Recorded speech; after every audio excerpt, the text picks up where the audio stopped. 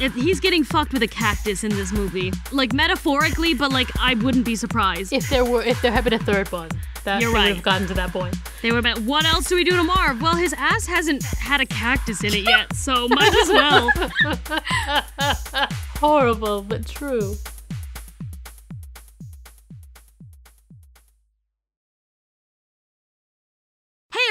Welcome to Fess Up, where the Fess sisters help spice up your conversations with unique and thought-provoking questions. That's right, we're breaking the ice with a sledgehammer! Koblui. Kablooey kablammy. I've switched it up. Hmm, I like it. Kablooey evokes color, and Blue, specifically. it specifically evokes blue, like a lot of blue. My name is Amy Fess, and I am the oldest Fess. My name is Marissa Fess, and I am the mediumist Fess. Mm-hmm. And I am Ina Fess, and I am the mildest Fess. Oh, so now we're spicy medium mild. I like it. All right. We all know I'm the mildest. I mean, I think that makes sense. I think I'm pretty spicy. Yeah. So, guys, this is our 50th episode! Woo! Huzzah. We're so old. We're halfway to dying. Oh, we're in our middle aged episode. So, this is our 50th episode. We want to do something fun. We want to do something different. So, this episode is going to be different than our usual episodes.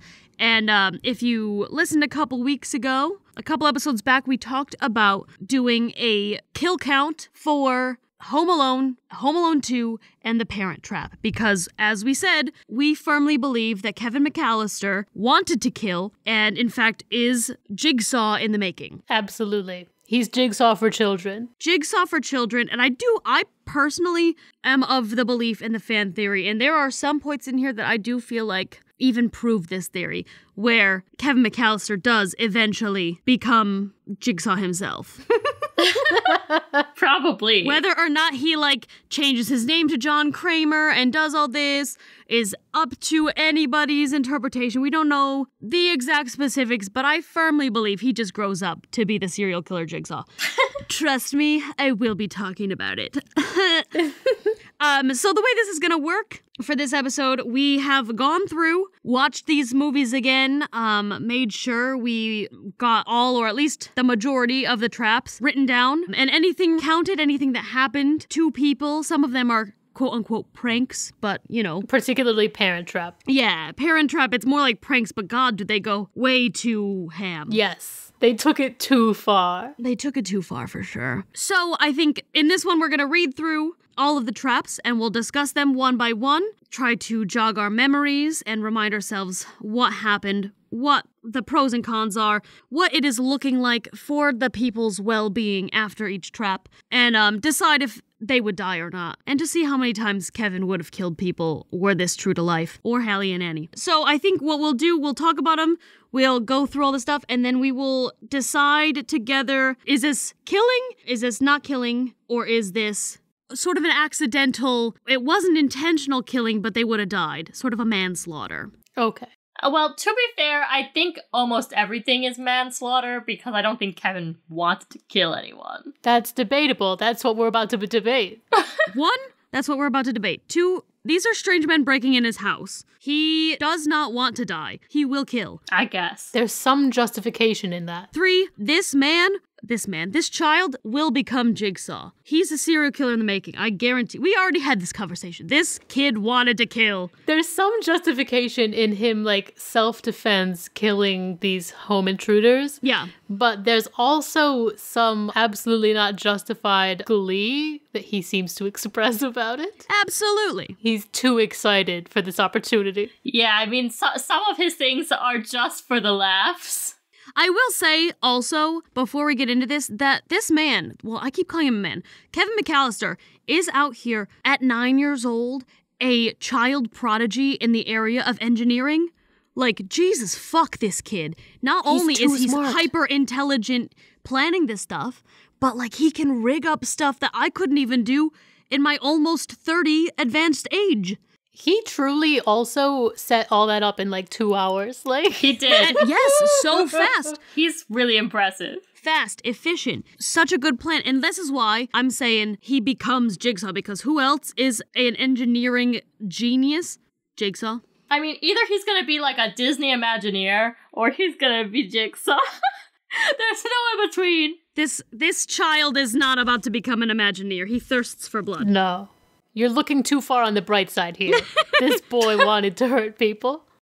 Okay. He came in here out for blood. He did. He did. And we shall discuss this now. So, Home Alone 1, the first big prank that happens, Harry and Marv are our two bad guys. And for those of you who may not have watched Home Alone in a recent amount of time, Harry is the short one, played by Joe Pesci from My Cousin Vinny. And Marv, I don't really know what else he was in or what his name is. I should look I that think up. his first name is Howard, but I can't remember his last name. He was in this bizarre film that I did not enjoy called Bushwhacked. Oh yes, I remember that. Oh, yeah. Yeah. His name's Daniel Stern. Oh. Is he related to Howard Stern? He looks like he could be, doesn't he? I guess my mind thought he was named Howard because of the Stern last name.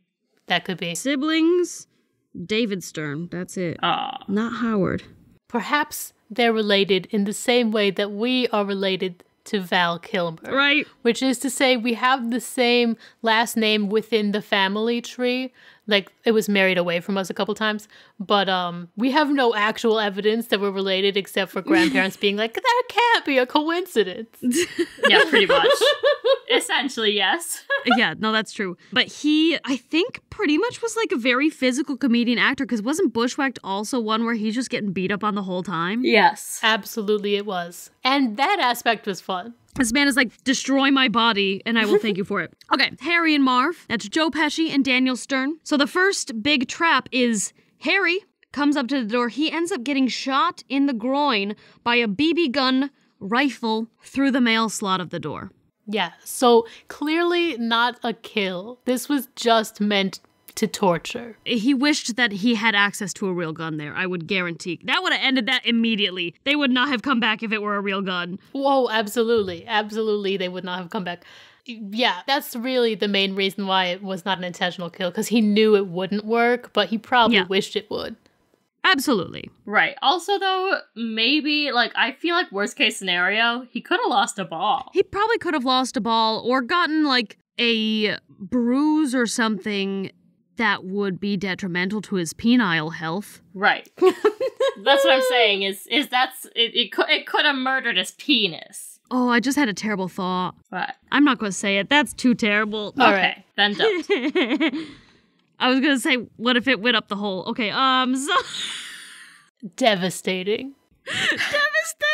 Okay, I think we can all agree he's gonna live on that one. yes. The next one is Marv is shot in the forehead by that same BB gun when he puts his head through the doggy door. Mm-hmm. Which, why do they have a doggy door? They don't have a dog, but Maybe they used to. I guess maybe. With that family, they could have killed it. Honestly, they don't take good care of anything. I'm surprised their house looks so nice.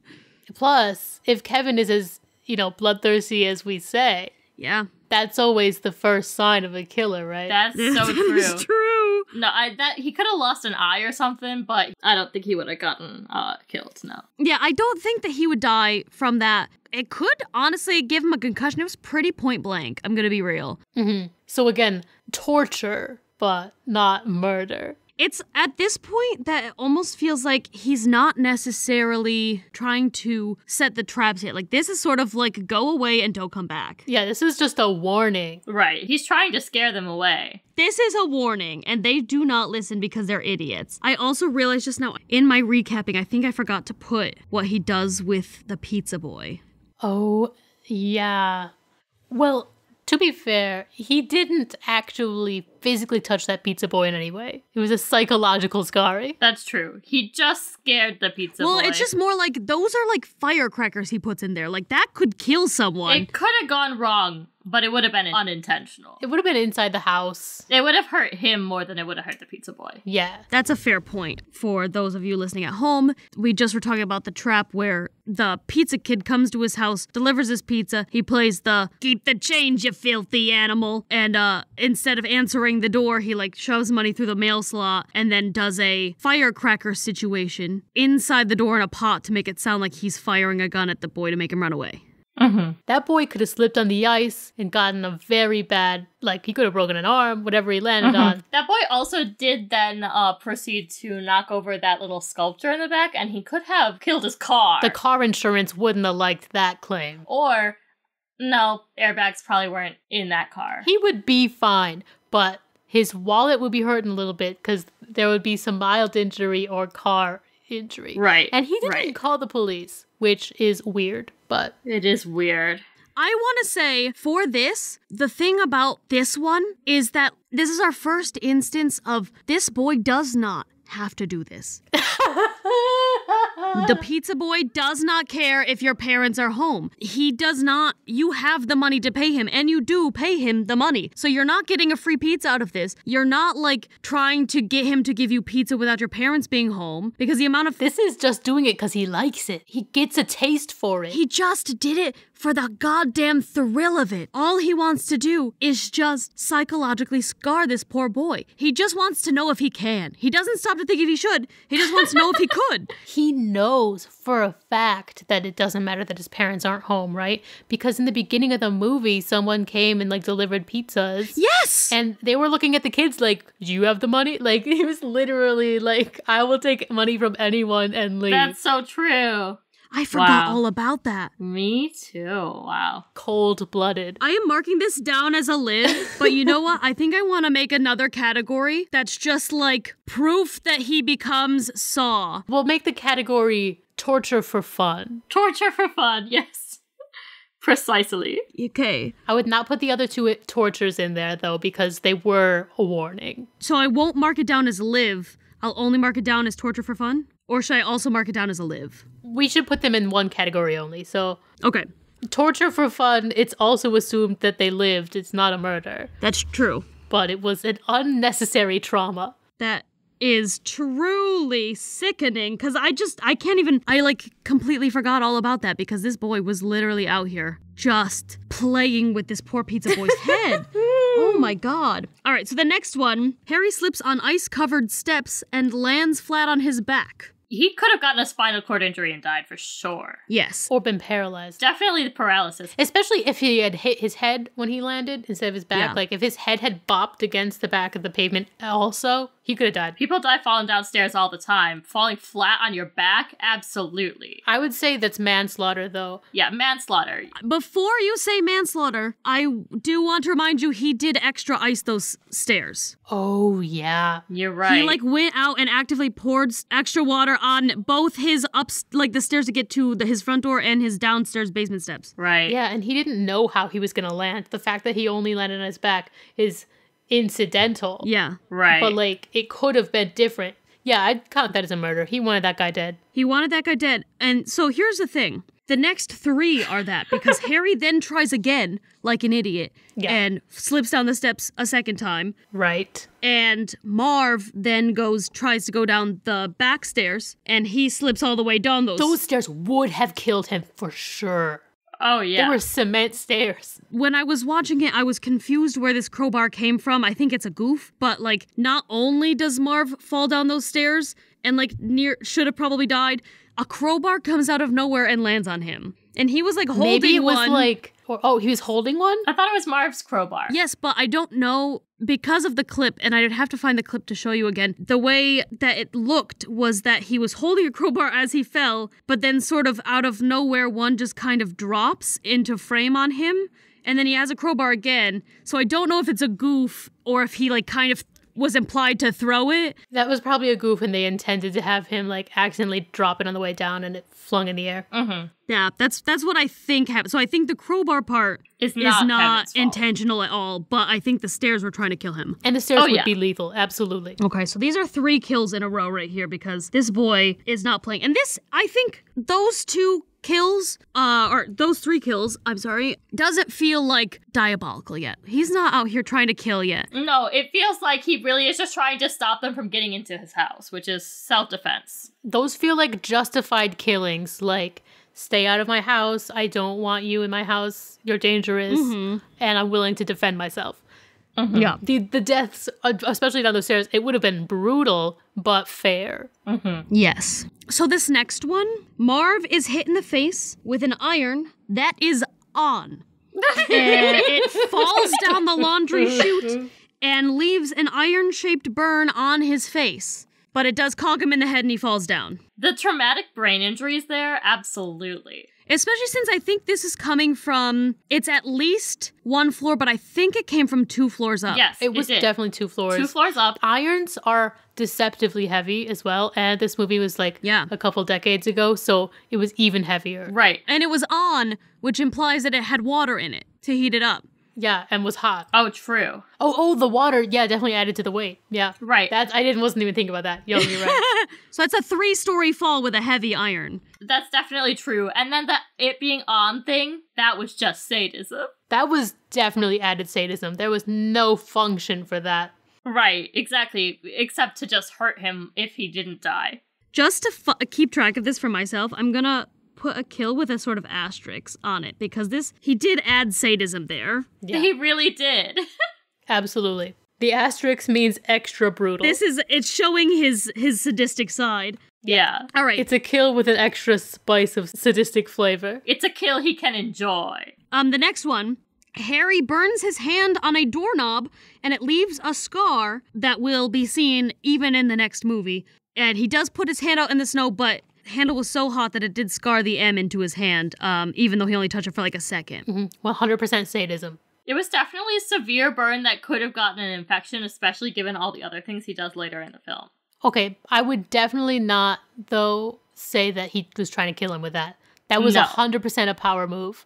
Yeah, that was definitely just sadism. Is that just torture for fun? You he wants him to remember that this was him? That's torture for fun. torture for fun, but could have killed him because he definitely could have gotten an infection from that for sure. Maybe. I mean, If if it would have killed him, that would have only been a sort of manslaughter thing. I don't think it was his Right. intention. No, Yeah, it wouldn't I'm- have been murder. It's definitely not murder.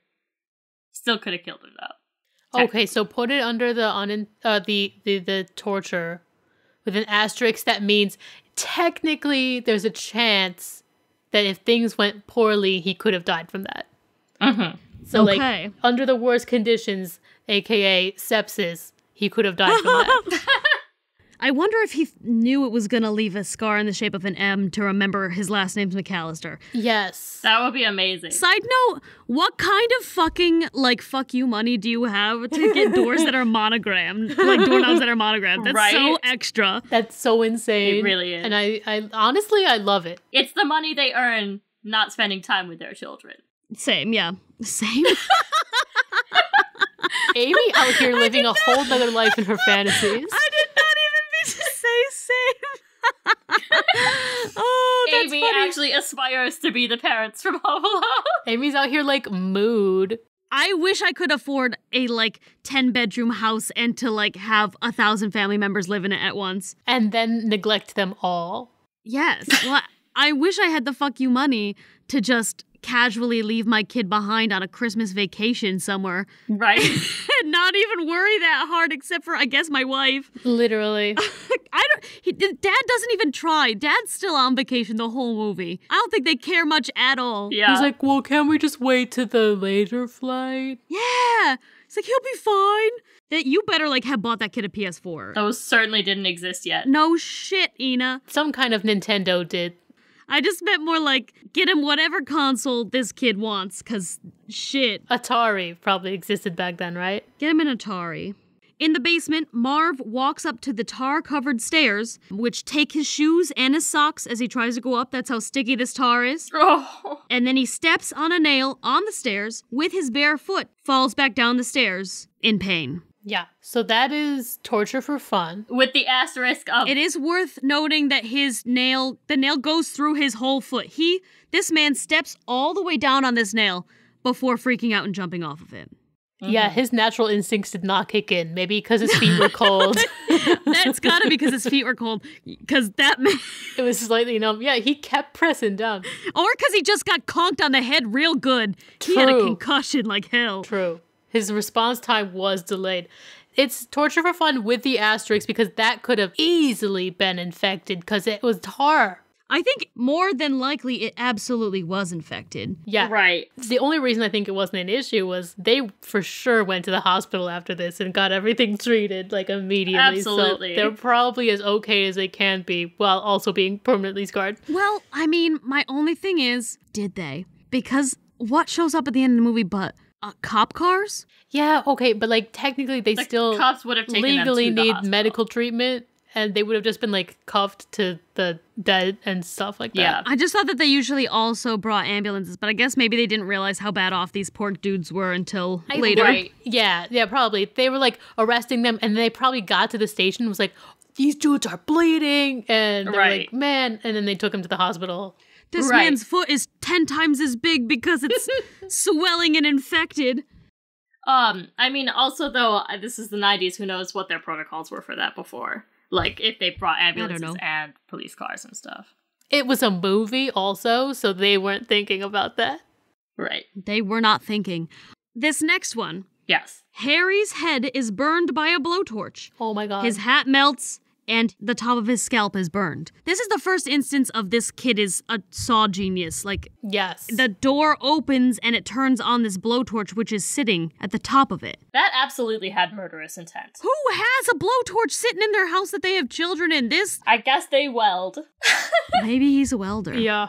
Can I just tell you something real quick? Yes. Please. In Home Alone 2, they do a similar burn the head stunt. Uh huh. Oh, I have that written down. Mm-hmm. It burned Joe Pesci's head for real.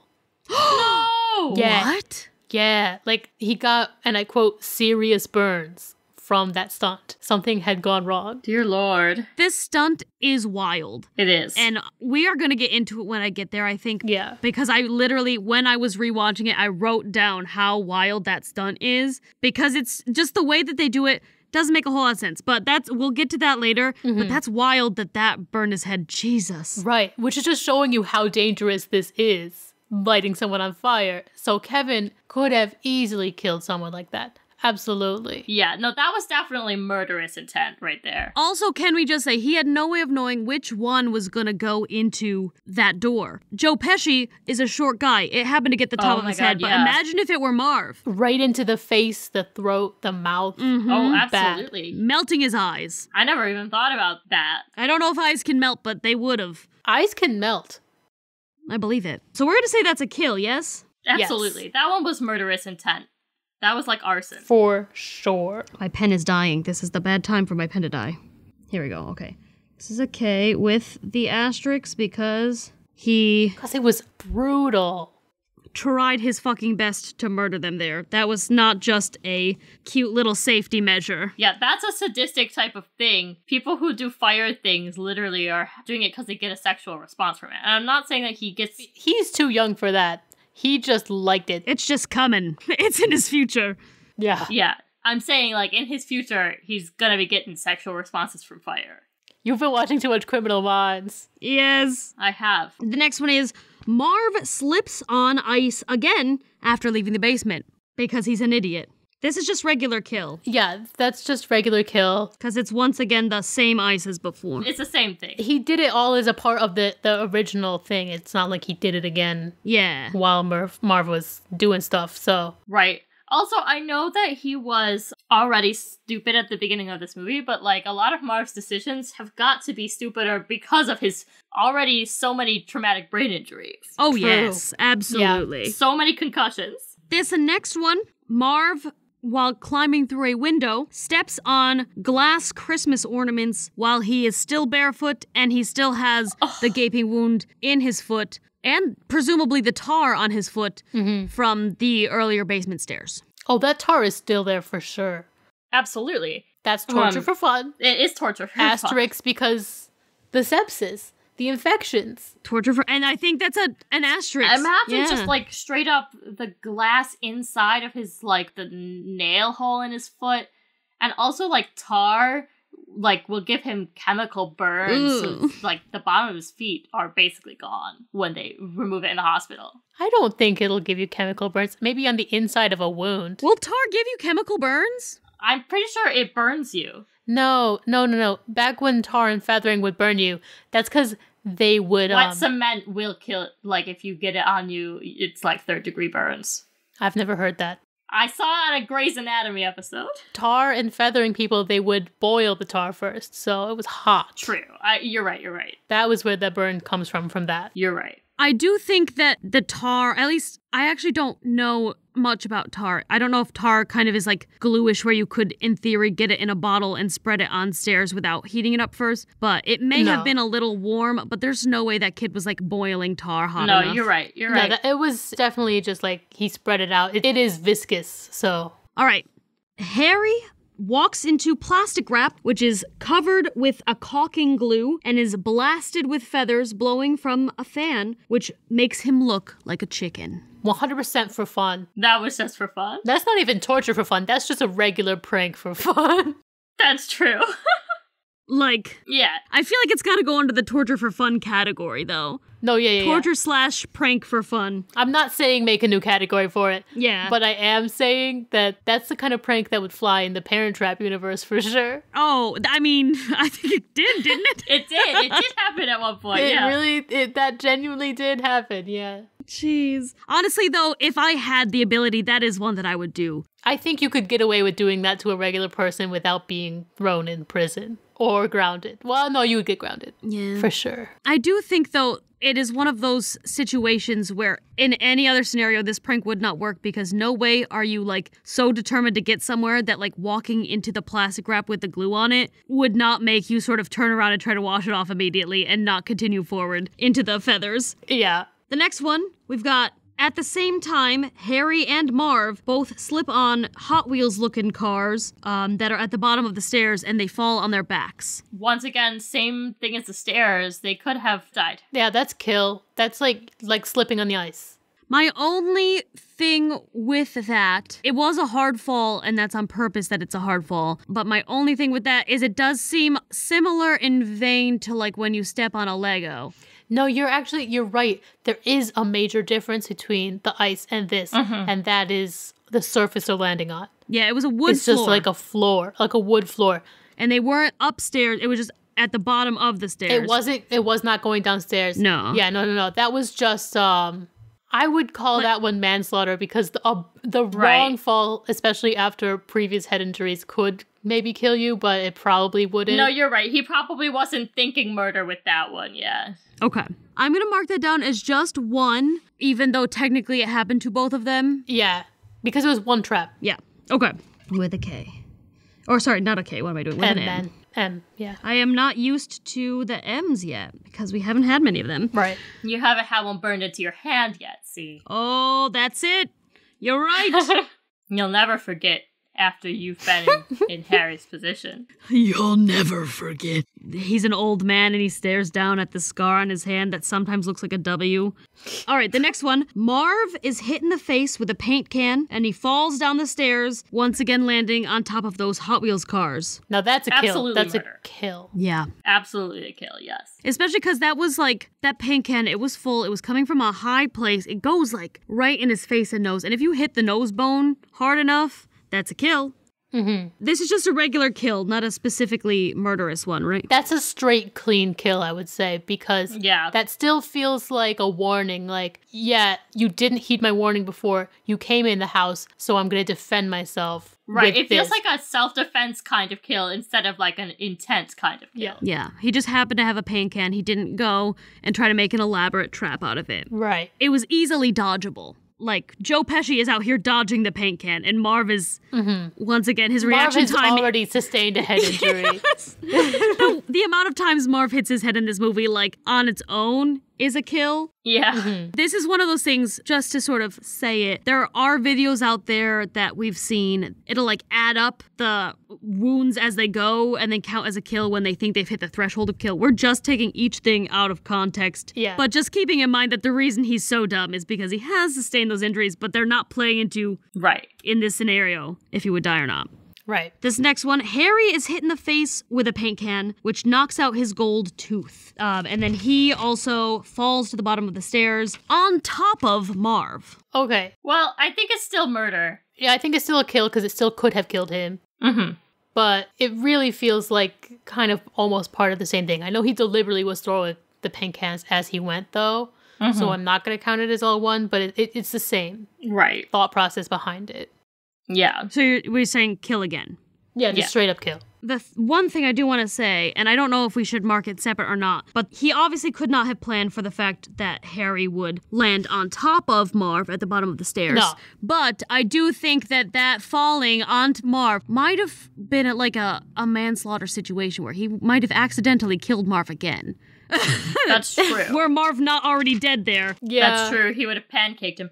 But it also would have made it a a little bit. it would have made it a little less likely for uh, Harry to die, though, because he would have gotten a little bit more cushioned from falling on flesh versus hard floor. That's a true point. Though I do agree with what you guys said with um, Marv two seconds ago, where I think it's more the paint can that would kill him rather than the fall. Right, right, Yeah. right. So the next one, Marv. Oh, this one is ridiculous. Marv gets a tarantula put onto his face while he's trying to grab Kevin's foot. And before we get into what this means, I was reading the wiki, and the wiki says that this tarantula's name is Axel. Did you know that this tarantula had Huh, a name? Axel. Because I actually respected this tarantula more once I learned that his name was Axel. That's kind of a dope ass name for a spider. It makes sense he has a name. He is a pet. I don't think they ever mentioned his name, but I like it. Right? I'm like, damn, okay, wait, respect points to Buzz for finding a kick ass name for his creepy ass pet.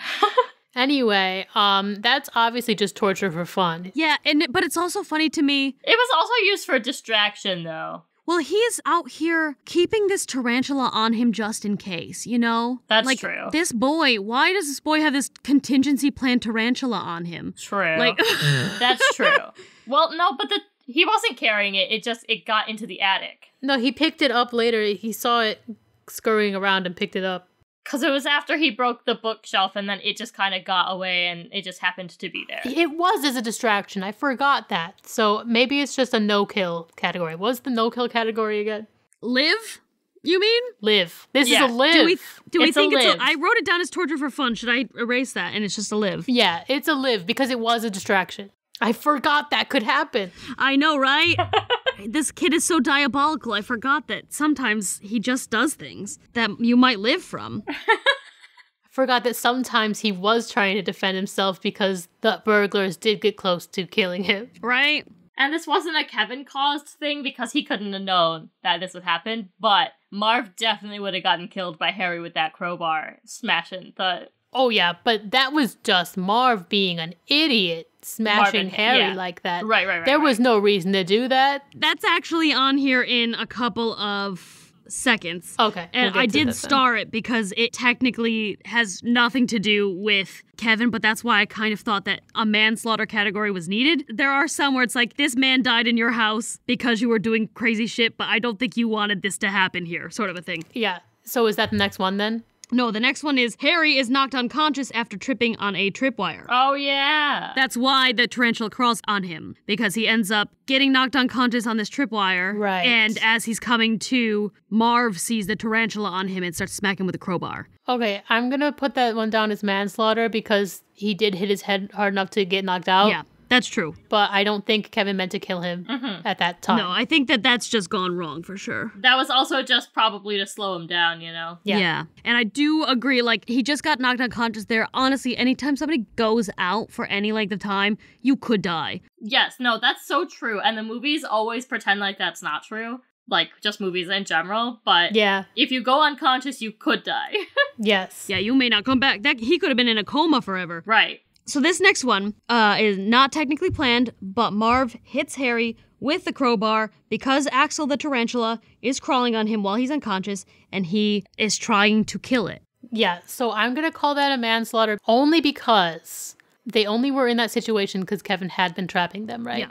And also, I think Marv only was that stupid because of the seven concussions he's already sustained. That is very true. I Very mean true. that, and plus, I think in everybody, you get a visceral I must kill this thing reaction to any spider you see ever. So like I'm just surprised he didn't run to Harry's blowtorch earlier and try to, you know, burn him, burn the spider cuz I would just burn the house down if I saw a tarantula. Yeah. Especially since they're not like in Australia where they might be more normal. Yeah. I actually don't know where they they live. They're not in California where that might also happen. Yeah, they have snow of some kind.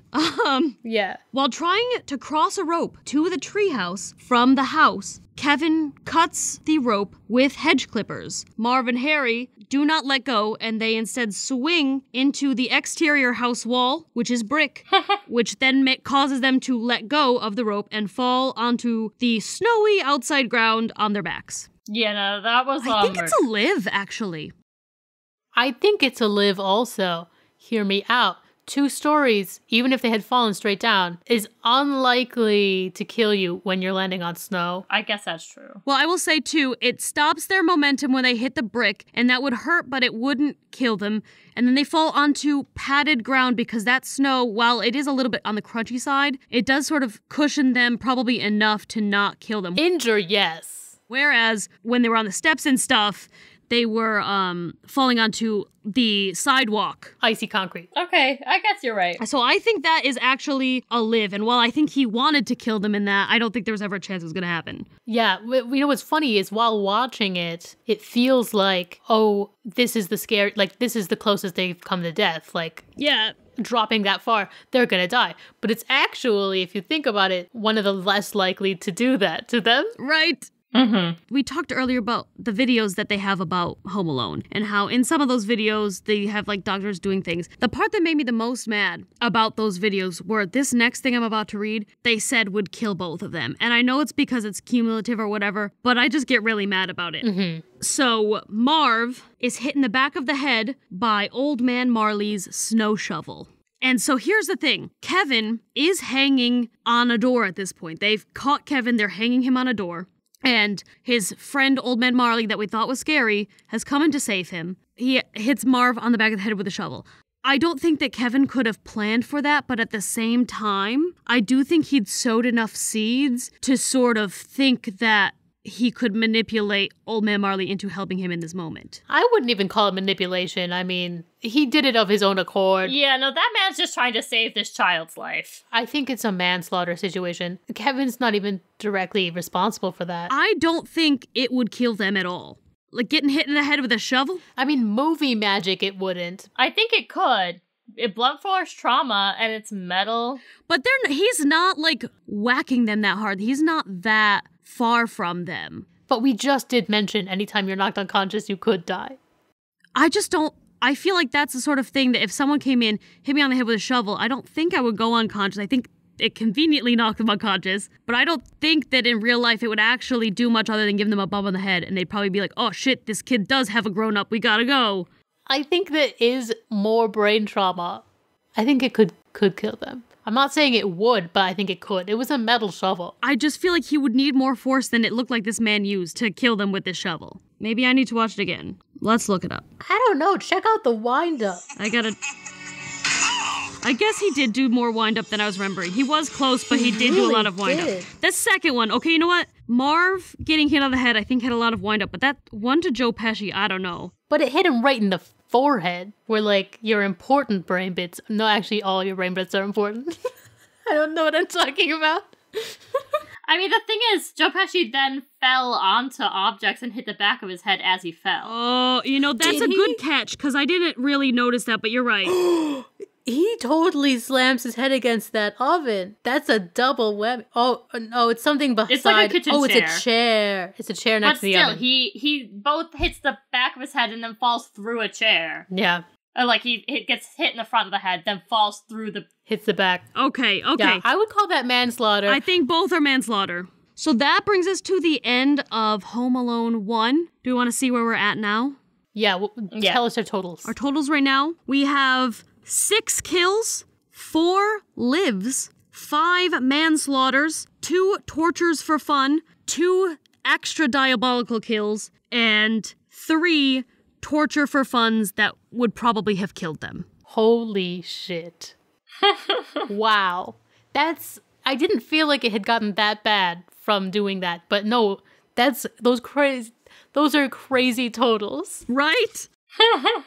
Another thing that I didn't do in Home Alone 2, and I wanted to, but I didn't quite have time, I didn't include anything that he does to the hotel staff. He does some crazy things to those hotel staff. he really does. It- I mostly didn't because that video that we watched only had Harry Marv. yeah. The wiki that I was looking at, for some reason, also only did Harry and Marv. Okay. I did want to include that, so I think that I'm gonna try to. On reflection, now that I do think about it, it was all mostly psychological torture of that hotel staff. I don't think he really did anything to hurt anybody. That's true. But we do have a torture for fun category now, so I feel like maybe we should. We'll see what we have time for. Yes. All right, guys. Home Alone 2, Lost in New York, or as I like to call it, Home Alone 2, Eerily Clean New York City. because if you watch this fucking movie, there's no goddamn garbage anywhere except for the alley scene. But guess what? New York City does not have alleys. So that's why the city's so stinky because the only alleyways that exist are like between buildings that you can only get to from like one spot and they're gated up. Mm-hmm. But 98% of the garbage is put just on the sidewalks because they wanted to fit more room for people. Movies really do over rely on the alley trope for New York City, and I've been to New York City. I've never seen one, Yeah, it's wild. at least not on Manhattan. Definitely not in Manhattan. This movie has to take place in like Brooklyn or something for most of it. But the problem is he kind of walks to this abandoned, condemned house or whatever from Manhattan toy stores way too easily. like this kid would not have done this multiple times. But Uh, we suspend our disbelief. yes. So let us first talk about how Harry and Marv slip on pearls that are dropped by Kevin, and they do land on their backs on a New York City sidewalk that is too clean, in my opinion. Mm, yes. I'd call that a kill. I mean, that's the same thing as the ice, you know? It's a kill. well, it's not quite the same as the ice because it's no stairs. There is no ice on the sidewalk. but the pearls are functioning as ice. My question, though, is do we count it the same as we counted those cars? Oh. Because it's not quite as intense a fall. Like the stairs had like yeah. height involved and possible landing on like necks and heads. And this is mostly like backs and butts. Like they're gonna bruise their pelvises. I don't true. know. You're right. This is a live. This is a live. Okay. I don't think it's torture for fun because I think once again it's a warning. Like He was- keep right, the he F was away from to me. Don't away. even try it again. Like this will happen again. I promise. Yeah. He didn't have time to think about something torturous. Well, here's the thing. He tries to do it to get away from them. To be fair, this kid thinks on the fly for this. Like, damn. He's a genius. He really is. It's scary. It is. But then they do catch up to him, and Marv and Harry are walking with him, trying to pass him off as his son. And then they start walking behind a hot model, and uh, Kevin pinches her butt cheek. This little psychopath pinches this girl's butt cheek. Yeah. And he just so happened to pinch the butt cheek of the strongest model in New York City because he pinches her butt cheek. She immediately turns around, sees Marv, and punches him directly in the face, which does call, cause him to fall on his back. Obsessed. She has punched this man so hard in his face that he falls on his back. An icon. I'm saying that one seems like a manslaughter because she, with the that kind of force behind her punch, she could have punched him in the nose and punched his nose right into his brain. But it would have been so deserved, like at least in her mind. That one's also a manslaughter situation because he did fully start that shit. He did. yes, He did. That was all Kevin. Yes. But so smart. The thing after that is she punches Marv in the face. But then Kevin says, No, it wasn't him, it was him, and points to Harry. And then she punches Harry in the face. And he Yeah. falls on his back. Two manslaughter. It is two manslaughters right there. Because that, that was two distinct punches that he invoked. And I will say, like, I cannot mm-hmm. understate because they wanted the sort of slapstick element of like the boys falling on their back, they inadvertently made her the strongest model in New York City. Like, she may have superhuman abilities, this woman. She's amazing, an icon. We love her. In this universe, I would not be surprised if Harry and Marv are also superheroes, like not not heroes, but like have heightened abilities in invulnerability. It's just like, damn. because they're they're not literally indestructible by any means, but they certainly are far more resistant and resilient to injuries than an actual person would be. That's so true. But it's also just like, damn, they have these powers and they use them for what? Petty theft? Not even like high scale theft. They're the wet bandits. The sticky bandits, both of them. Terrible. All right, the next one. Harry is launched from a seesaw that is triggered by Marv and set up by Kevin, and he lands back first onto a parked car. And that parked car is uh absolutely totaled because the roof is crushed in entirely. Like Ma- somehow Harry's body weight, he becomes a human bowling bar ball, and like just the top of his car gone. It's crumbled How beneath him. he? Right? He that's the seesaw, like the science does not work on this. The seesaw, Marv jumping onto it, would not launch this man enough for him to crush this entire car unless they have superhuman ability. But How far in the air did he fly? he flies. This man soars. Wind beneath my wings. That's where Bette Midler came up with the song because Jesus, goddamn fuck, this man takes flight. He becomes a bird and sails for the stars. I am gonna send you. The, I'm gonna send it to you because this man he goes flying.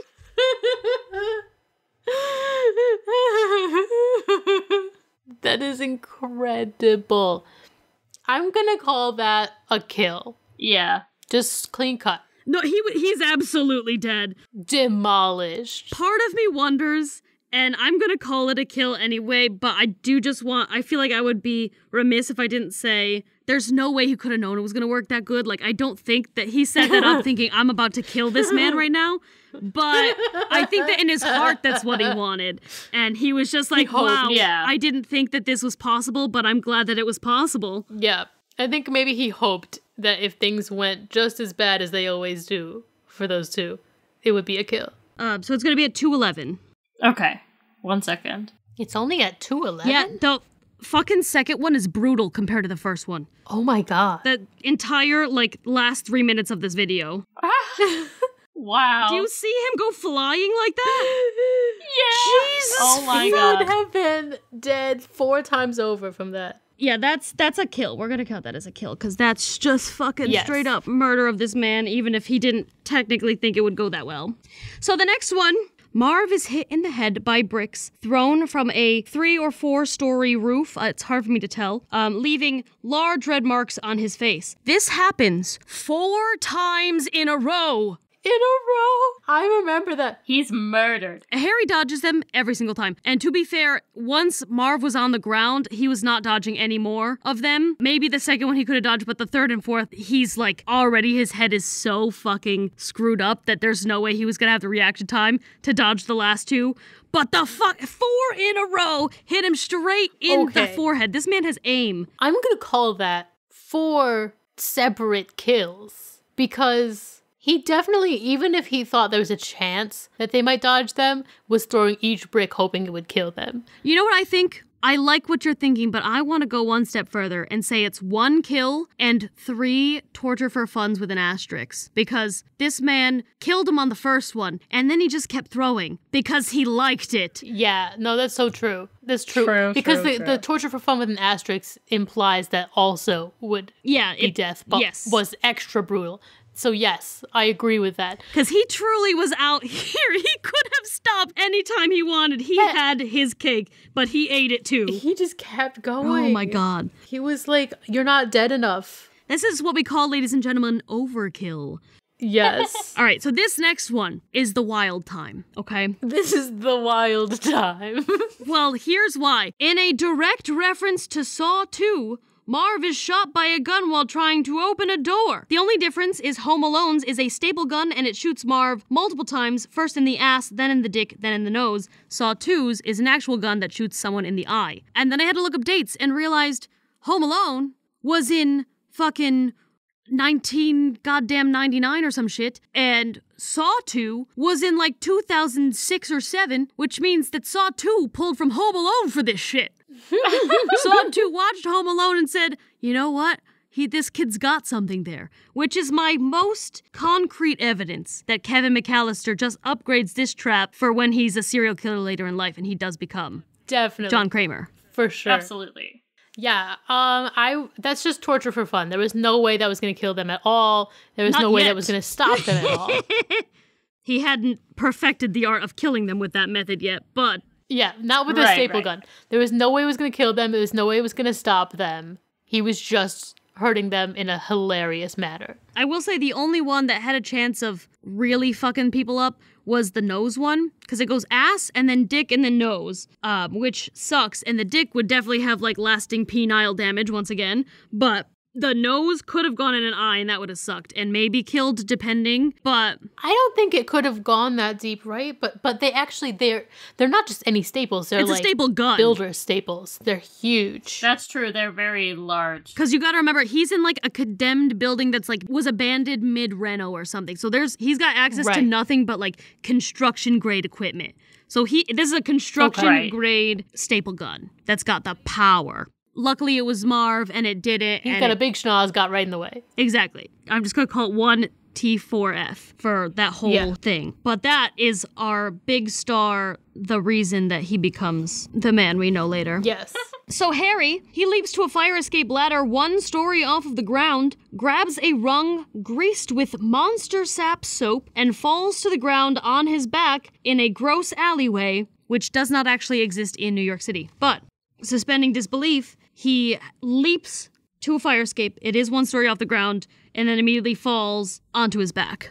One story, concrete ground. I think that he's probably dead. I think you're right. A million percent. he's probably in a real life scenario there's a really good chance his neck goes first Oh yeah. Right. By design, he's dead. yeah with the the momentum Right. of all that That's a, that's a kill. that's straight up brutal kill and it's funny at this point we already sort of have more kills than we had at this point with the last movie so he's just upgrading to kill now he's he's not fucking around anymore. He's had a whole year to think about more ways to kill he, people. he It feels like less of these so far are for fun. yeah And he's just like, let's just end this. Like, I, I'll go play with someone else.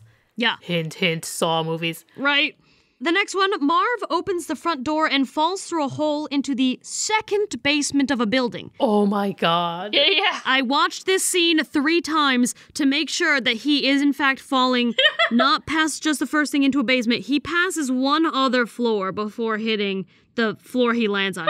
There's like Two stories to concrete. two stories to concrete. Face first. Yes. The world's most painful belly flop. yes, absolute. Like that.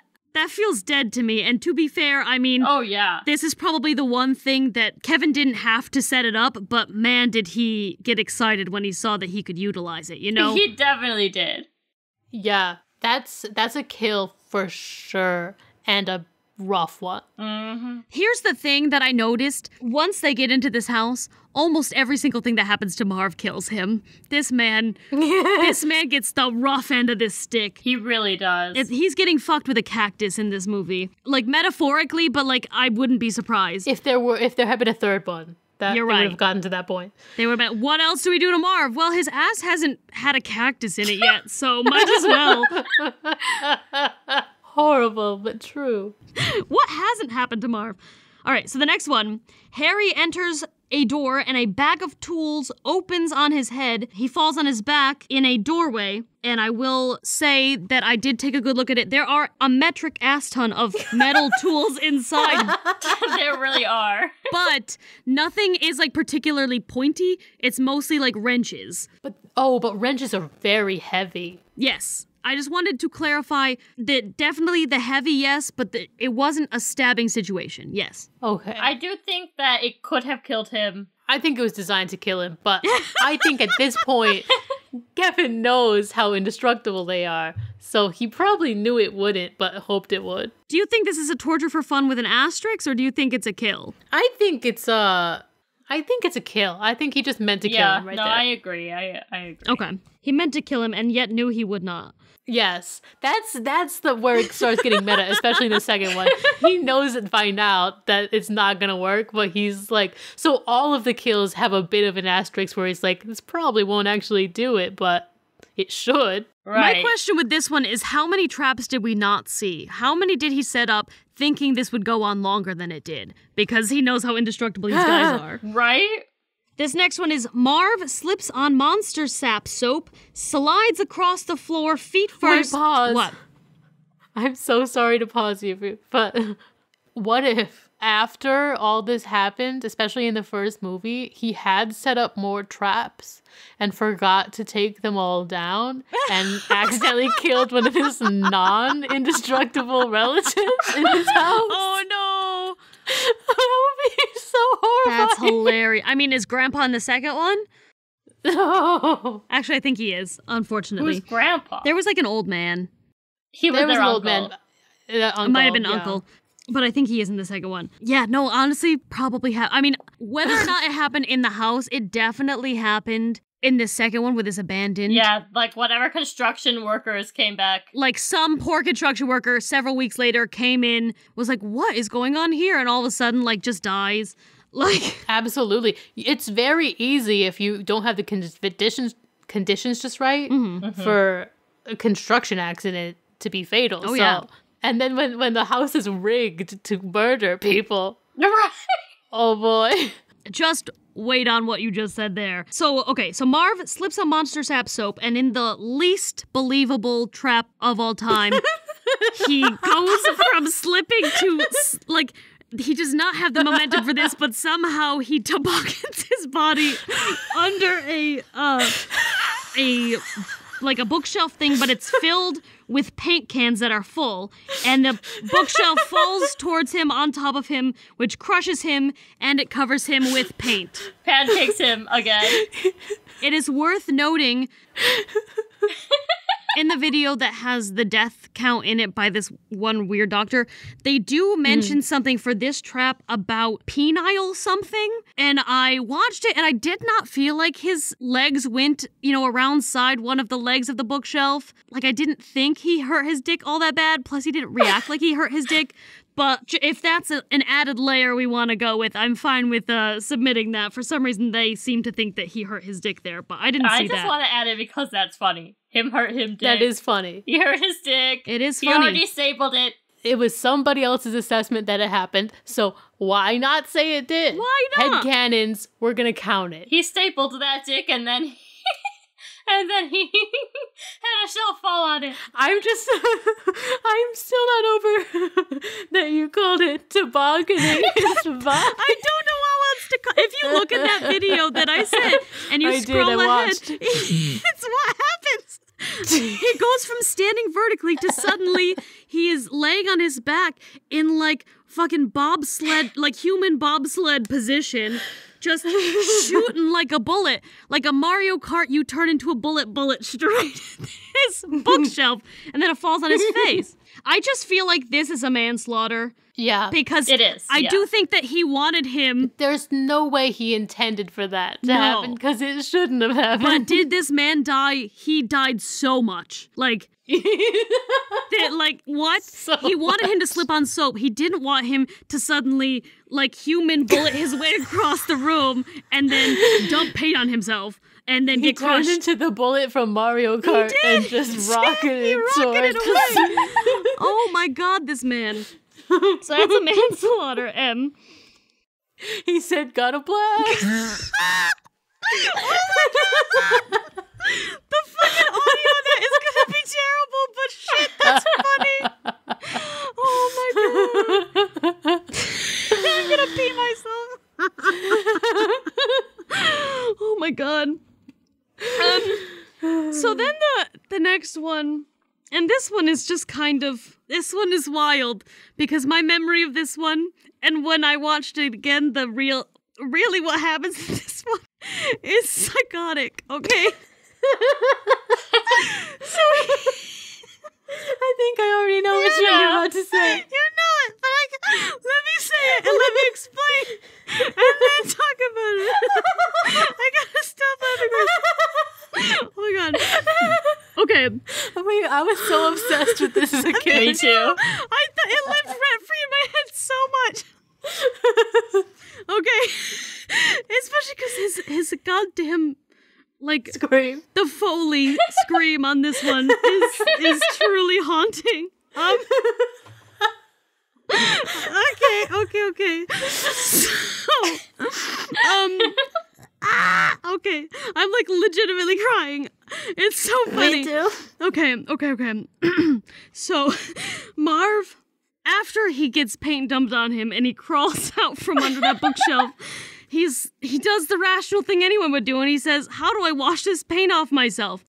So he walks over to a sink, like a slop sink in this room, and he goes to turn it on. But Kevin, for some reason, anticipated him wanting to use the sink at some point and rigged it to electrocute him when he touched both knobs. Well, I guess they were at one point calling themselves wet bandits, so maybe it's not that far fetched for him to have done this. But That's true. he went to go turn on the water, and when he touched it, he electrocuted himself. And so it says Marv is electrocuted by an arc welder while trying to wash paint off his body. You fully see Marv turn into a skeleton as he screams at this part. And I just need to clarify you do not just see a skeleton through his skin kind of skeleton trope. No, you see a skeleton. They take a skeleton, they put him in the clothes and a wig. He turns into a full skeleton for about three seconds while screaming, and then turns back Yep. into Marv. That's his his superhuman powers at work, keeping him alive after that. Yeah, hmm he electrocuted him so much he lost all skin and muscle. And organs, they're all gone. everything's gone. It's all gone. Oh my god. I really thought that it was just like an overlay, like they do in a lot of movies. No, they just took a fucking skeleton from science class and put it in his clothes for 10 seconds. Oh my god. Sorry, They Marissa, really what were you saying? that. And the sound of his scream, the most iconic. Can I let me find the scream because it's not copyright. If I just play one second of this for you all, here we go. I found it.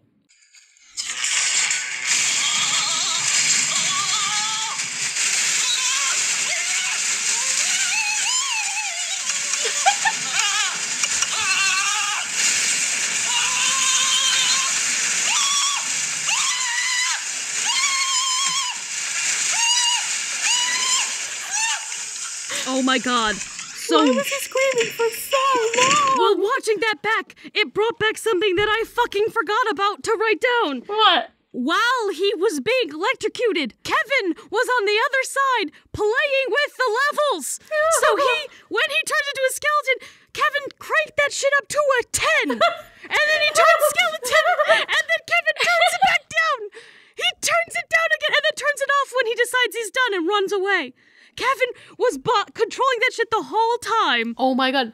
That was torture for fun asterisk because that was obviously a brutal murder, but for fun, completely for fun. the amount of enjoyment in that one is diabolical. Like, I'm a little sick to my stomach with just how much he enjoyed that shit. Fuck. Oh my god. Wow.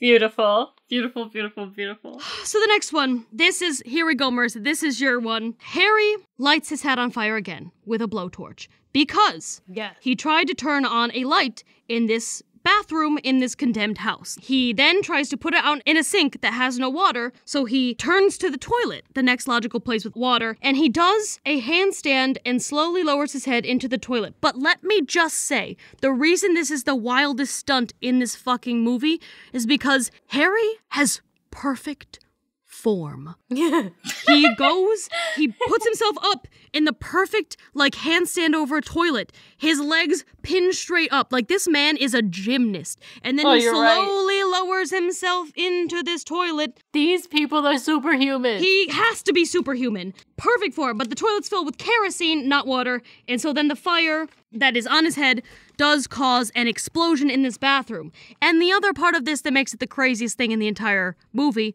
is because the house miraculously does not catch on fire or explode after that. True. That's insane. And it's winter. Things are dry. Yes, the only logical explanation is Kevin planned for that and must have dampened all of the nearby wood to ensure that Yeah. he did not kill everyone inside of this building. Like, he must have planned ahead to ensure there's no death here, except for perhaps and hopefully Harry. Right. I think, again, we have to put that in the torture for fun asterisk because I think, again, he was intending to kill because that, that kerosene is like a bomb on him. Mm-hmm. But the fact that he purposely made sure the sink wouldn't work and then made sure that the it would ignite even further, mm-hmm. that's just messing with him. that's just playing with him. Also, if like an explosion reaction happens while your head is still in the bowl, isn't that fire gonna shoot straight up your like nose and mouth? Yes. Mm-hmm. And like scorch your innards? He literally, after that, has like head to toe blackened char on his body. His teeth. He was his a flambe. He was a human flambe. And the reason that I wholeheartedly agree with your uh, torture for fun with an asterisk is because this man remember this man Kevin McCallister remembered that one horrible trick he did to him in the first one, and he was like, Yeah. "Let's do a callback, shall we?" And when he was like, but let's dial it up to a 10 this time. He, he, he. Like, what? This is diabolical. Literally. Absolutely. All right, guys. Marv pulls a rope, which starts a chain reaction of a hundred pound bag of dry cement hitting him on the face. Oh yeah. Death. Here's the problem, though. He could have dodged this at any time. This Not with the traumatic brain injury. This bag of cement was at the topmost floor. He looks all the way up. He sees the thing falling for a second. And he has plenty of time. He has probably five to seven seconds of just waiting. And um, instead of doing that, he stands there, says "uh oh," and uh, looks up. And this, for me, feels like a classic Saw moment where he, he has to choose his fate, and he chooses to die. He did choose his fate. but also, Kevin knew what he would choose because Kevin had just actively cooked his brain He did. with electricity. he rigged it in his favor for the kill on that one. For this reason, I advocate we put it on torture for fun with an asterisk because I think he did Yeah. intend to kill and knew it would kill if it went his way. But in the end, he was torturing this man with a, a saw trap. It was just torture because he could have easily not died. He could have. In He could have easily one stepped to the second, side. could have just stepped to the side. He, he had. But Kevin knew that he wouldn't. Yes. And that was the torture. Mm-hmm. and this is, like we said, a the beginnings of his Saw career. We see where the seeds are planted.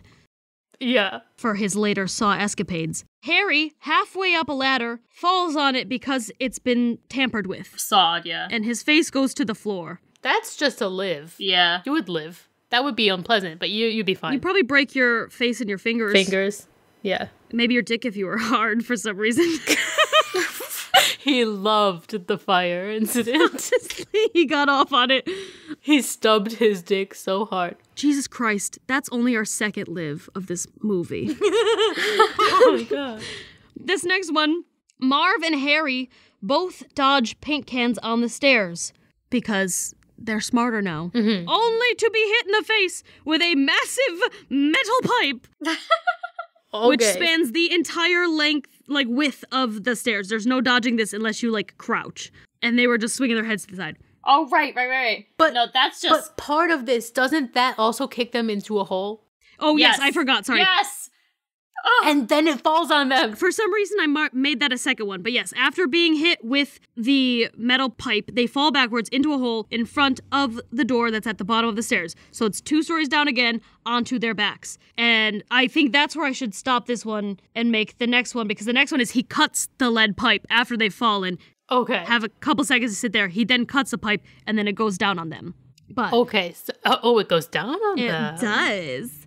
How nice of it. no, absolutely. The first one was murder, and the second one was murder for fun. Yes. Like it was just torture, sadistic. Absolutely.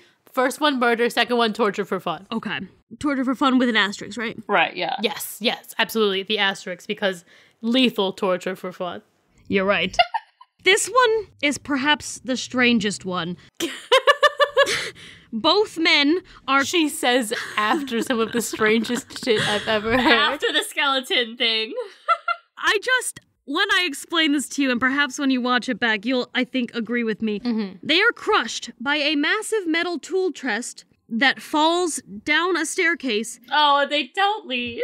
into a door and then tears the door off its hinges and sandwiches them between the door and the wall. Oh yeah, it defies all physics. Like a lot of this film. And afterwards, they uncrack their noses, which implies that they did just break and or dislocate their noses in this attempt Yes. and have to reset them. The reason that this is so weird is because it comes down the stairs and then somehow, some way, when it gets to the bottom and crashes through the door, instead of just like crushing them like I think it would normally, it's sort of as if they are standing on a sudden random forklift, just pushes them straight back into the wall. They almost glide because of this tool chest. Yeah. That's so true. It's the weirdest like decision making ever, but Also, I think I remember the vividly the Mm-hmm. way this toolbox falls down the stairs. It's almost like it's walking down the stairs. Yes, like yes, it yes, stays is. upright. one after the other, like just kind of like walking down, doesn't have like a glidey sense to it.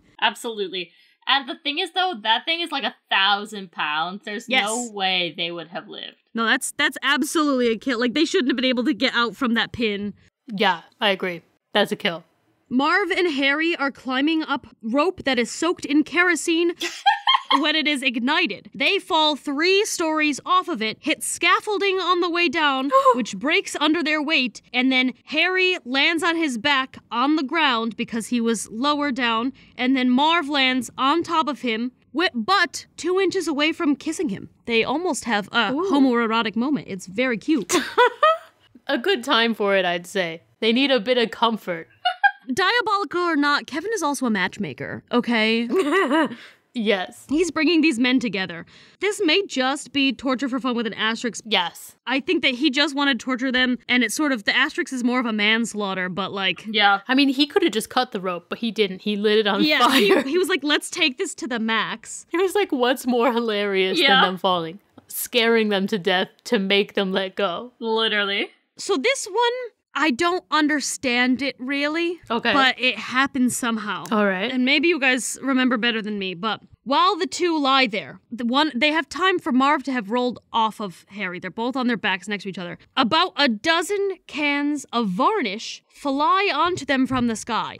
oh, They yeah. They are opened, and really for me, it's not clear if that's sort of a result of the fact that they broke through scaffolding and maybe had another seesaw effect, or if like Kevin pushed something off, but they come from about the same place that they landed on. So again, it's a huge arc for no good reason at all. Yeah, it's just like the seesaw in the beginning when Harry gets launched into the air. Yes. These cans get projected. Remember when they fell through the scaffolding? It was a seesaw moment. Yes. And those cans went up to like the three story height and then came back down. And I will say, I did some research on this because I was curious. Varnish is not flammable. Okay. So, if this was Kevin's doing, he was sort of trying to put out whatever fire he may have started with the kerosene rope. But it is toxic when swallowed, and both of them were screaming as it fell on them. So, I feel like it's implied they may have swallowed oh them. Oh my them. gosh, that's that's manslaughter then. I don't think that he even really planned that. I think that it was No, he didn't set that up. an unfortunate No. I like how you decided when like it wasn't flammable. You're like, mm, I'm, it's gotta be manslaughter then, like, because he didn't do that. No, no, it was more of the the fact that it was on the scaffolding Fair. and they fell through that w- more of an incidental kind of a thing. So I'm not sure it wasn't just a happy accident. Mm-hmm. I feel like none of the manslaughters in this film Happy. would have caused him any distress. I think Kevin would have been glad that it accidentally happened. Where in the first film, I think he may have may have been a little more distressed. Yes. So the final Mm-hmm. trap of this movie against Harry and Marv. Harry and Marv are covered in birdseed by the pigeon lady because they're still got the varnish on them. Oh yeah. And then pigeons fly at them. They are pecked and their feathers stick to them and they are presumably, you know, scratched or whatever because the birds are trying to consume the bird seed. That's the final trap of this. So they're gonna get scratched open and get some Right. kind of bird disease. Yes. I do want to point out I while I don't think that this is gonna kill them directly, I think that this is Kevin and I guess an extension because she kind of starts it up, the bird lady killing a whole bunch of pigeons. Why did she sign off to do this? Because there's no way that varnish is not toxic to pigeons if it's toxic to humans. And they're eating Maybe it's not enough a quantity. Maybe it's a I don't know, they maybe it's just gonna give them pigeon diarrhea. I hope so, but I also did have a thought as I realized that they were probably killing pigeons that maybe like because of Kevin's words, the bird lady's like, I I want out of this life, but I gotta just like cold turkey this shit. I can't just like slowly whatever. Like I gotta just fully be done with this lifestyle and go back to see my daughter or whoever it was. So she was just like, "Yep, cowabunga, bye birdies forever." Cowabunga. But yeah, so what where we, where do we stand on Harry and Marv with the birdseed? That's completely just torture for fun. I don't think they'd die. That's true. That's just to humiliate them. Yeah. Okay, so these are our stats after Home Alone 2. We have seven kills. We have only two lives. We have four manslaughters. We have no kills with an asterisk. We have two tortures for fun. And we have seven tortures for fun that would kill them. oh my gosh. Holy fuck. So let me read both separately so that everyone can hear them side by side. And then I'll tell you the total kill count of Kevin McCallister in these movies. Okay. And then we'll do a quick little bonus round with the parent trap. Yes. Okay. So Home Alone 1, he kills them six times. he goes extra with his killing twice. He lets them live four times. He has five manslaughters. He has two tortures for fun, and he has three tortures for fun that would result in death. In Home Alone 2, he has seven kills. He has no kills that are above and beyond. He has two lives. He has four manslaughters. He has two tortures for fun. And he has seven tortures for fun that would result in death. In total, Kevin McCallister kills 13 times. he kills with an extra flare twice. he only lets them live six times. he commits manslaughter nine times. Oh. He tortures them for fun four times. And he tortures them for fun so hard that it results in death ten times. he got such a taste for it. that first film was just an appetizer. it really was. If you're counting, in total, out of 44 traps, 34 of those traps kill people. Wow. Insane. That's like 80%? I don't math well, Absolutely. but fucking 90 it's like uh, 90%, I don't know. He kills most of the time. This man is diabolical. okay. Wow. He certainly is. All right. And that's before the Saw movies. And then he starts a legacy. Right. Honestly, I would, and this is a hot take. His traps in the Saw films are classier than. yeah, he gets a refined palette later on. He like maybe it's maturity. Maybe it's the wealth. Both. It's both. Let's do the parent trap. Let's do the parent trap, a fun little bonus experience. It's a little bonus because I think this is what we said last time. The twins are pretty mischievous in a way that's like a little concerning, a little, they take things a little too far. I would say pretty concern like that's honestly mega concerning for me. Yeah. But it's a totally different scale though, because I don't think there's ever any like murders in this situation. There are things that could accidentally result in death, but no murder. Are we considering torture for fun, but more like Yeah. like as a prank, but it could kill them? Okay, okay, I lied. There is one that I think is a murder. so Okay, I'm gonna put the same categories in. We're gonna have Okay. kill. okay. We're gonna have kill with an asterisk. I don't think we're gonna get that one, but why not? We have a live. We've got manslaughter. Most of them are gonna be live, but I think a lot of them, because they're girls, they are savage, and there's a lot of just really demoralizing you here. live, but you're roasted. That's so true. Maybe we should add one because I don't know that kill with an asterisk is gonna apply here. Maybe that one should just be specifically like a psychological or something. Like what what do you think is gonna work there for a roast? Boom. Roasted. Hashtag savage category. We'll let it come up Savage. I don't know. and see what happens if it doesn't fit. it's gonna come up pretty soon. All right. And then we'll figure it out. we'll out. figure it out. Okay. the first one. Uh, Hallie and Annie are fencing Ah. and they're within, you know, like a certain area. They leave the safe area with the adult watching them and start fencing much more brutally over obstacles. They're leaping over obstacles like hay bales and porches. Oh my god. Annie takes her sword, knocks Hallie off balance. She flies over the railing of this porch Oh my god. into a narrow cement basin filled with water. Oh my god. Oh god. And we checked, and the way she landed was miraculously she was unharmed.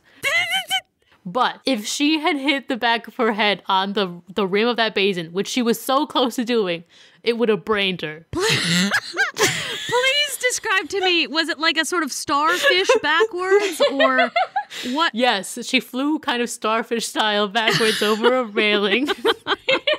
into a basin. It was a narrow basin. Oh no. It was like a trough for feeding horses. Yes, it was like a horse trough is the only thing we could have figured out what it is. Okay. It was clearly cement made. Like it was also pretty obvious that it was like made of foam, really, but it looked like it was supposed to be cement. right, right, right, It would have brained her.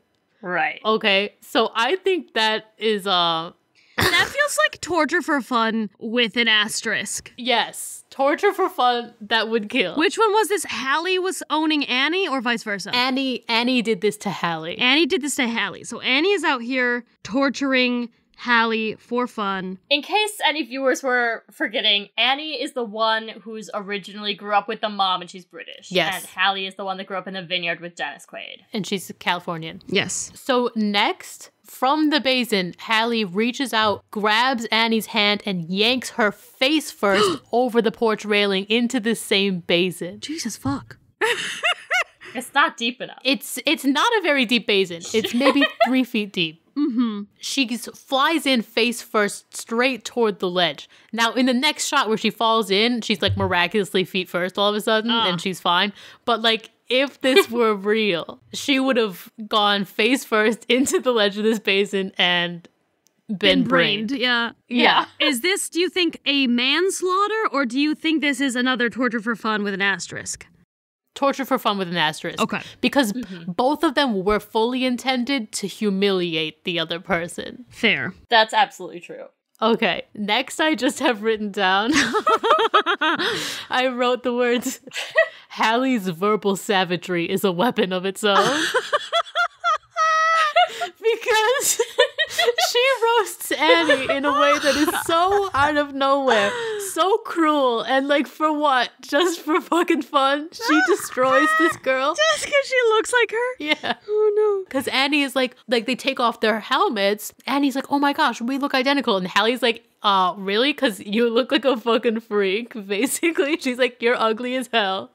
Good luck, though. And she implies that she needs a nose. She does. job. She's she's basically she's like, your your ears stick out, your eyes are too far apart, and your nose is hideous. But like, don't worry, they have doctors that can fix that. And like, this is out of nowhere. So maybe the asterisk we have for kill is not so much actual kill, but death by words. Well, in this case, I would say death by words. Yes. for sure. And that was Hallie you said who did that? Hallie. Hallie Yes. fucking killed Yes. her verbally. We have found, and I think our facts will reflect this, that Hallie is the more brutal one of the two. That's wild. Yeah, like by a lot. Okay, I'm excited. So Hallie's the one who's gonna end up marrying Kevin McCallister. Yes, and it'll be a nightmare for us all. Yes. It makes sense because she's the American one. She would probably meet him. Yeah. Maybe they go to school together. Mm-hmm. No, yeah. Yeah, they go to college together and like Ooh. it's such a meet cute. Let's make that movie. Yeah, they're like murdering people at the same time. It's like adorable. Beautiful. They're, they're dumping bodies at the same dump site. they catch eyes. Oh. Okay, the next one, Hallie and Annie have just played poker and Annie lost. Yes. So that's the preface of this. And Hallie makes Annie strip down butt naked in front of everybody and like jump into a lake at night. Oh God, that lived in my head rent free for my entire childhood. Yeah, made us, you know, like little kid excited, if you know what I mean. Oh yeah. But anyway, in the scenario, Hallie then steals Annie's clothes and leaves her outside wet at night, butt naked. And then I wrote, Is it possible to die of embarrassment? Honestly, maybe that's what the kill star is. It's just die of embarrassment. It's not verbal kill. It's not physical kill. It's just you have died by embarrassment. yes. So once again, it's Hallie killing Yes. Annie. okay, let me know when you're ready for the next one. I'm ready. Hallie is savage. So next, Annie and all the other kids in her group haul heavy furniture like full beds and heavy wooden chests and chairs, and they put them on the roof Jesus. of a cabin by themselves, no adult supervision or help. If I were going to camp with these girls, I would not do that. Like the way the way that like maybe you could convince me to take one bed out there, Sure. But the second it's like, okay, Amy, now pass me that bed. I'm going to stand on the roof. You pick it up and hand it to me. I would be like, the fuck I am. I am tired. It is 3 a.m. I am not a strong person. I am a child. Uh, I will be going to bed. Thank you. Yeah. How did they convince people? The grip they had on their fellow campers. Well, I'm calling this manslaughter because Yeah. in the process of hoisting this furniture, you could crush yourself and die. Yes. a million times over. You are children. You're all 12 years old. They're all 12. And also, anyone trying to get the furniture back down, it could crush and kill. Yeah. Because it's not like they even fastened it up there. They just set it up on the roof. And also, And it's a sloped roof. Is the roof sanctioned for that? No, Is it liable to just cave the whole building in? it could. Who did this? Annie did that. Annie, Annie.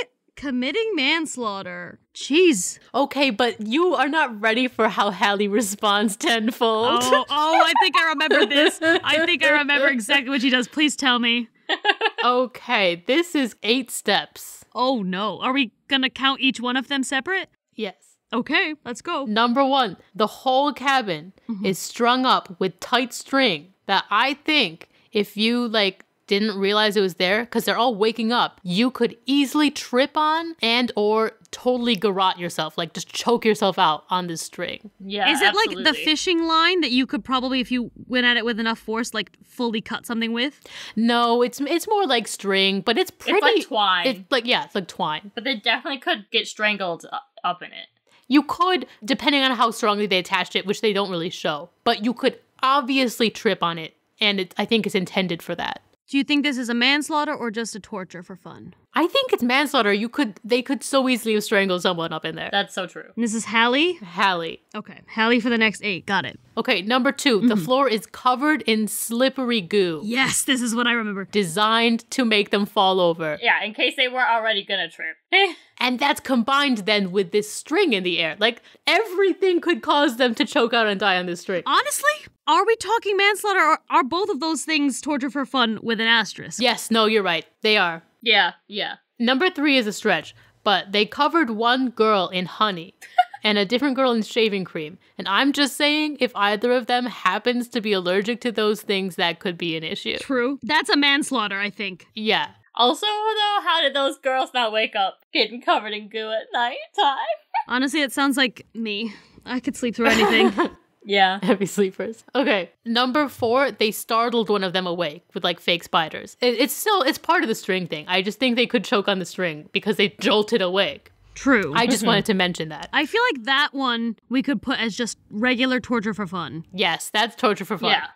Because they didn't have to add that part. They just went extra for that. Yeah. Okay, next one. They have a basketball tripwire fall from the ceiling. I don't think that would kill anybody, but torture for fun. It, it could hurt if it hit you. Yes. It was it just one basketball? yeah. Well, it was one basketball, and then it set off a ton of water balloons, which wet the floors. Ah. And so I think that's another way that they could have killed everybody with the wet floors that are already goo. And that's a torture for fun then. Yeah. With an asterisk, because they could have died. Yes. Okay. Yes. Okay. Then they have a very heavy, like I can't, I can't really express it to you, but it's a, it's a huge bucket. Mm-hmm. Huge bucket, full to the brim with like chocolate sauce, I believe. So it's very heavy, held up by fishing line, not very strong. Oh my god.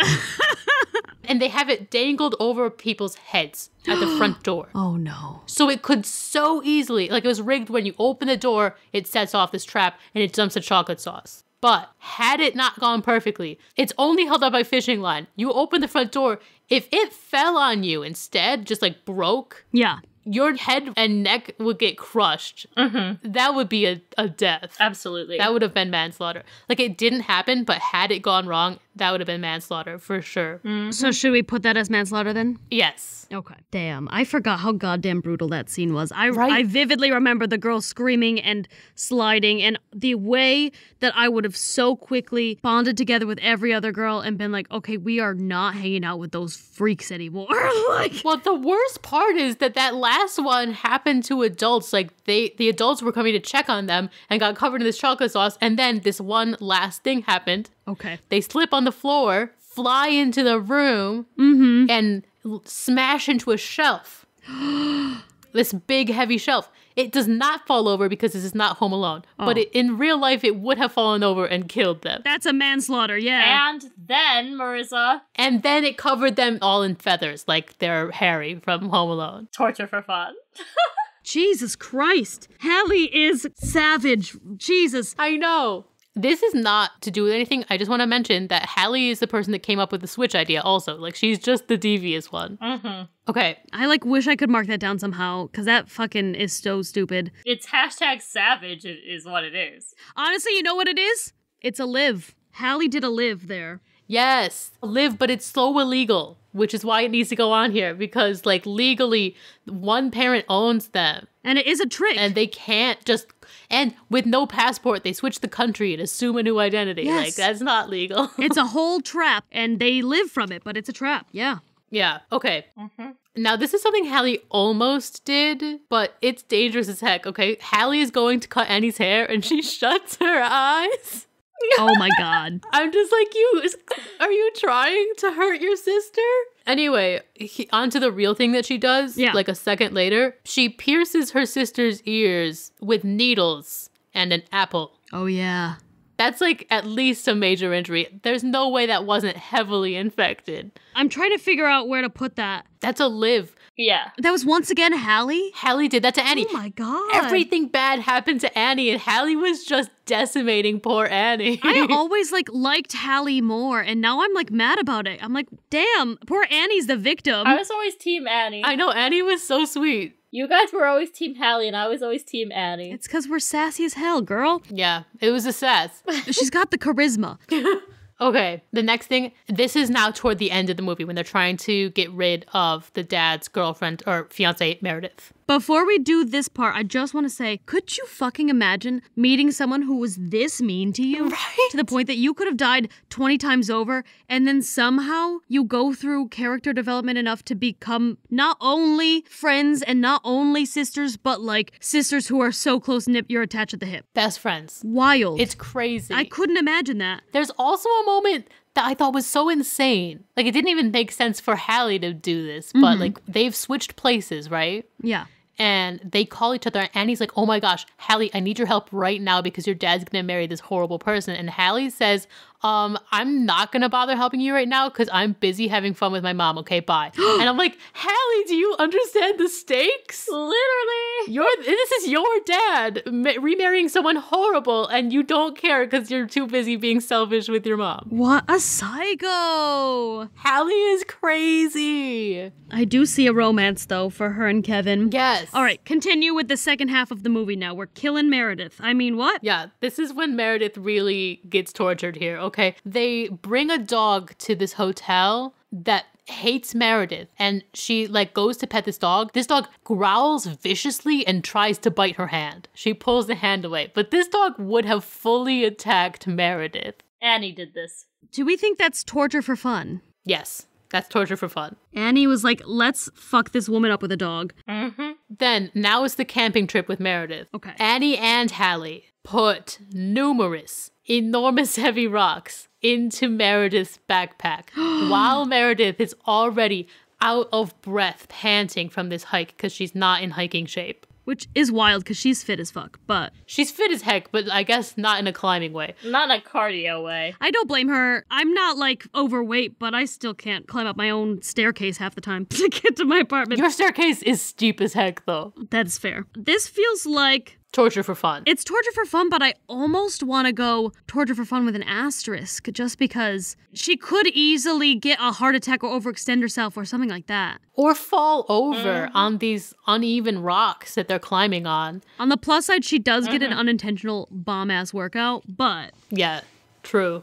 should we do with an asterisk or nah? Yes. Okay. Yeah, because I think in the wrong circumstances, having your backpack weigh you down that much, you could fall over or Yeah. overstress your body and die. Next, I don't really know which one of them physically does it, but they're both in on it. Mm-hmm. Okay, so I would count this as mm-hmm. both. They put a gecko, I think it's a gecko, but it's some kind of lizard, Oh, yeah. on Meredith's water bottle. She freaks out, so then they put it in her hair and then tell her it's there. She freaks out, and this gecko crawls into, Into her, mouth. mouth. Oh, that face that she makes lives rent free in my head too. I The feel scream she does with her mouth around this gecko. I feel so bad for her and that mm. like at the time loved it. Now that I'm an adult, I feel so bad for this poor woman. I can't believe that she was even putting up with these little shits anyway. Literally, I would put it under torture for fun Yeah. with an asterisk Yeah. because Because she could have gotten some disease from that lizard. lizards and, and geckos and, and those types of animals carry a bacteria that is very different from people. Yeah. So putting that directly in your mouth, she could have gotten like salmonella or something, Yeah. and who knows? and because we can't identify this gecko, we don't know enough. It could have been one that was poisonous to begin with. Who knows? Could have been, yes. And it's like even if we could identify it, they couldn't identify it. So they're out here just right, like so they didn't know that it wasn't poisonous. exactly. They were playing with fire there, and we're lucky they didn't get burned. Yes. Mm-hmm. And like the way that their dad is watching this all happen, whether or not he's like actually noticing that it's happening as it's happening, the way that he like is aware of it and doesn't even punish them once, I hate it. Not at all. Not even barely a scolding. He's like, just just let it happen. Kids will be kids. This toxic mindset, just as bad as boys will be boys. Yes. Okay. There's only two left. So the next one, they put sugar water in a bottle and gave it to her as bug spray. And so every oh, mosquito in town is biting her. so think about the type of disease you get from mosquitoes. If you get too many of any kind of bug bite, that's gonna, it, it could provide an, an allergic reaction. And mosquitoes are already a very dirty bug that can carry disease. Yeah. So They carry so many diseases. Getting a ton of mosquito bites is begging for some kind of horrible health issue. So I'd call that torture for fun asterisk. I agree. Yeah, that's wild. Yeah, I agree. Yeah. Here's one extra one that's just like a psychological savagery. they give Meredith two sticks and tell her to like bang them together to ward off the mountain lions, but there's not even any mountain lions around and she just like embarrasses herself and her fiance laughs at her. You know what that is? That's death by embarrassment. Death by Yeah, embarrassment. absolutely. Okay, and then the last one. Here's the last one. I know what you're gonna say because I know how much you hate this one.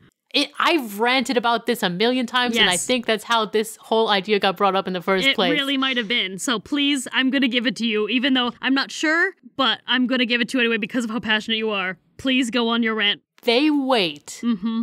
Until after Meredith takes, in her words, a big sleeping pill. Mm-hmm. And then they grab the inflatable mattress that she is sleeping on and drag it out and push it onto the lake. Yep. So she, under the influence of sleeping pills, like like a sedative, I did forget about the pills. That does add to this. Yeah. it really adds to it because if she had rolled out of bed at any moment, who knows how deep this lake is? Like, it's not big enough for her to float away and never be found again. It's a pretty small lake, but who knows how deep it is? She could have easily drowned mm-hmm. because she's not even awake enough to swim right. Like, in the morning, she can swim. We see that she swims back to shore. But if she had rolled off at night, But did the twins know that? I don't think they knew if she could swim or not. yeah, they didn't know if she could swim. This is a detail I wonder if you remember. Do you know if her air mattress that she was on was like deflated a little bit in the morning? I don't think it was. In the morning, I don't know. Most of the time in the morning, it will be deflated a little bit. And I can only imagine if you've been on it on water, it would have started to deflate, if nothing else. Plus the elements, plus who knows what fish. Depending on where the the air hose, you know, the Yeah. where you inflate it is, water could have gotten in it too. You you know, something like that. True. Mm-hmm. And I'm just thinking that so that would like probably cause sinkage and cause possibly like her to just get tangled up, no not know where to go and then strangle herself on it or something. Absolutely. I think this was a cold-blooded murder. Yeah. Is the thing. Mm-hmm. This was an intentionally murdering her moment. Hmm Absolutely. And that was both, obviously, that did that. Yes. Until I started remembering some of the other details like that, I was sort of fully gonna be like, I think it may just be torture for fun with an asterisk, but no, there like there's a lot of factors that movie magic pretended didn't wasn't a thing that like Yeah. I think you're right would have tipped it over the edge, especially with her being under the influence of a heavy sleeping pill. Because God, the weird shit you can get up to on like an Ambien. Yes. Mm-hmm. And her body was exhausted from the night before because of the hike and all the extra rocks, and also because she refused to eat dinner She did. because she didn't want to eat trout. So she's weak and tired Oh. and on a pill. If she slips into that water and is confused and wakes up underwater, she will not survive. Yeah, they were like, we will get rid of this woman at all costs. Literally. Even though our dad is happy. oh, The one thing that I'm sad about is I'm sad that like the dad didn't realize in the middle of the night that she wasn't there because he wanted to bang while the kids were asleep, you know? All right, this is the totals for the Lindsay Lohan parent trap. Here we go. Annie and Hallie each killed once. Annie did a death by embarrassment one time, and Hallie did that three times. Annie did not do anything where someone would live. Hallie did two pranks where someone would live. Annie did one manslaughter. Hallie did three. Annie did one torture for fun. Hallie did three tortures for fun. oh my god. And Annie did four tortures for fun with an asterisk. And Hallie did seven, which means a torture for fun where they definitely died, or easily could have died, or maybe died. or perhaps died off screen. yeah. That's hilarious. Jesus goddamn fuck. So out of 27, Hallie did 19 of them. Oh my god. Amazing. That's more than half. Yeah, more than half by like a lot. This girl was dwarfing Annie's number. Annie's rookie. And some of those were joint efforts too. So, like, they both did them. yes. For me, it feels like in all the ones that were both, Hallie is definitely the instigator. Annie's probably just like following along because now they're best friends. Yes. But like Annie clearly is the good twin, and Hallie is the mm-hmm. psychopathic evil twin. Yes. And that is why when they do run into Kevin McCallister, Annie is gonna want nothing to do with him, and mm-hmm. Hallie is going to marry the shit out of that man. and uh, that'll probably lead to a second split in their friendship, where Annie is like, "Wow, I knew from jump that you were bad news. Why was I friends with you for so long?" Yeah, like Hallie was a corrupting influence on Annie throughout the film, I think. And I think maybe at the end of this, when, you know, Kevin and Hallie together are so efficiently evil that Annie moves back to England and says goodbye and never talks to her again. You know what the the moral of this story is? Americans are trash. We are terrible. Yeah, precisely. Like only the worst of us came from England, I guess. This is a great, perfect representation of America. yeah, it is. This sample size of three people, two of which are American, all of which are Yes. objectively have done bad things, is the perfect way to judge America and England, I think. Yeah. mm-hmm, for sure. I mean, we do have one British lady in uh, Escape from New York, and she's nice to Kevin. She only commits murder to birds, and I don't think she means to. At least I hope not. Yeah, I hope not. That's up to interpretation. I, I read somewhere someone listed her on a list of like top gay icons, and I agree with that so wholeheartedly. no, she absolutely is. I was like, wait, is this why I've always loved her? She is a gay icon, absolutely. yeah, she's our lesbian queen. Yes. I ship her with Nicole Kidman from the AMC ads. I love that. Have you seen that? That she's a gay icon too? Yes, absolutely. Those are two fabulous gay icons who need to be together. Yes, absolutely. Okay. Well, guys, I hope you enjoyed our wild episode of Fess Up, celebrating our 50th episode. That is all the ice breaking we can do today. If we break any more ice, then Kevin McCallister will come after us for fucking up his stairway trap, so that would suck. If you'd like to send us a question, message us on Facebook or Instagram at FessUp Podcast. Send us an email at fessuppodcast at gmail.com. Tweet a question at us at fessup underscore podcast. And don't forget to use the hashtag UpFest. We're also on TikTok at FessUp Podcast. Send us new questions or let us know what happened when you used our icebreakers with your friends. Share our podcast with everyone you know and get the word out there about your three wacky friends. Woo! Bow-bow-bow-bow. That's it for me. I've been Amy Fess, the Spicy Fess. I've been Marissa, the medium fess. And I've been Ina, the mildest fess. And just so you know, Hallie and Kevin McCallister are the one true pairing. The most dangerous OTP.